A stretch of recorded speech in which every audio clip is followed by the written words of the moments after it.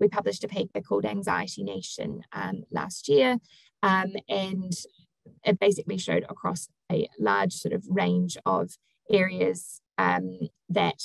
uh, for those in the bottom uh, income brackets, you were far more likely to be experiencing um, different factors sort of relating to anxiety.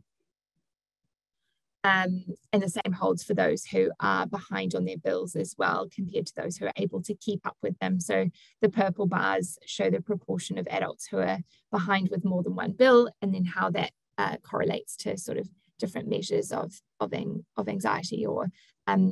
or mental health. So um,